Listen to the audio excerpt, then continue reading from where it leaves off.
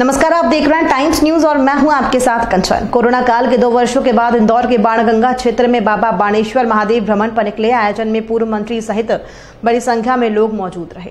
बाणेश्वर महादेव की भव्य सवारी आयोजन के प्रमुख कांग्रेस नेता दीपू यादव ने बताया कि हर वर्ष सावन के तीसरे सोमवार को ये बाबा बाणेश्वर महादेव की भव्य सवारी निकाली जाती है, किंतु कोरोना के कारण दो वर्ष ये धार्मिक आयोजन नहीं हो पाया। वहीं आज निकाली भव्य सवारी के आयोजन में हज़ारों की संख्या में महिला, पुरुष, भक्त, ढोल, ताशे, डीजे के भजनों की धुन पर झूमते हुए आगे बढ़ रहे थे। इस यात्रा का ये पच्चीसवां सफल वर्ष है।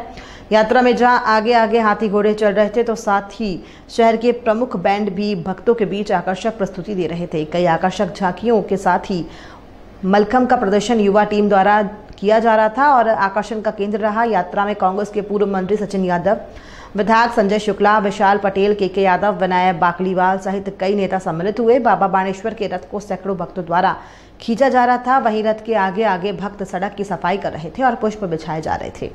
बाबा बाणेश्वर की भव्य सवारी उत्साह के साथ निकाली गई।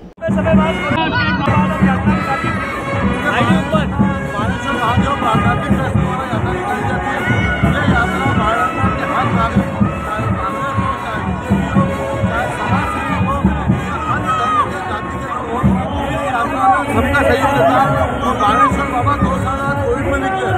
और लोगों ने अपने घर पे अपना ध्वज लगाकर बागेश्वर